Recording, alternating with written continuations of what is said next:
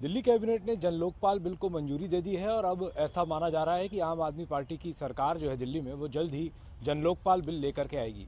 लेकिन आज इसी मसले को लेकर भारतीय जनता पार्टी के विधायक दल ने दिल्ली के एलजी नजीब जंग से मुलाकात की है। क्या कुछ बातचीत एलजी साहब से मुलाकात में निकली है? ओम प्रकाश जी हमारे साथ बातचीत करने के लिए मौजूद हैं।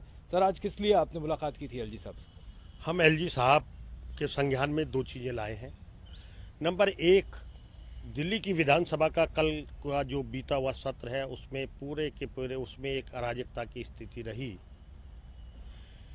किसी भी संविधान और परंपरा का निर्वहन ना करते हुए जिस प्रकार आम पार्टी के लोग इस सदन को चला रहे हैं ये अनारकिस्ट का ही एक नमूना है। तो यदि आपको लगता है कि ये वाला जन लोकपाल जो है बड़ा अच्छा जन लोकपाल है मुख्यमंत्री कार्यालय भी इसके दायरे में है आपका कहना है कि आम आदमी पार्टी के तमाम विधायकों पर गंभीर आरोप हैं तो आ, क्या भारतीय जनता पार्टी की कोशिश नहीं होगी कि इस बिल को पास करवाया जाए?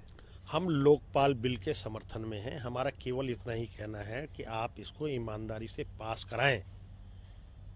और उसके लिए जो कानूनी प्रक्रिया, संवैधानिक प्रक्रिया, परंपराएँ हैं, उनका पालन करते हुए इसको पास करें।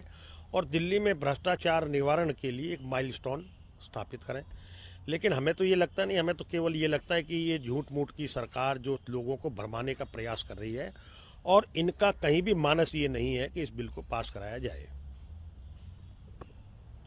सुना आपने ओम प्रकाश जी को, जिनका साफ़ तौर पर कहना है कि आम आदमी पार्टी की मंशा जो है, वो सवालों के घेरे में है। आम आदमी पार्टी की सरकार ने ज़रूर ये कह दिया है कि जन लोकपाल बिल को पास करवाया जाएगा, कैबिनेट ने मंजूरी भी दे दी है, लेकिन विपक्ष जो है, वो सीधे आम आदमी पार्टी की मंशा पर सवाल उठा रहा है। उनका कहना है कि आवश्यक औपचारिकताएँ जो हैं, वो पूरी नहीं की गई हैं, जिसके कारण हो सकता है कि ये बिल एक बार फिर से अधर में लटक जाए। कैमरामैन अहमद के साथ Abhinav Upadhyay, news world India, Delhi.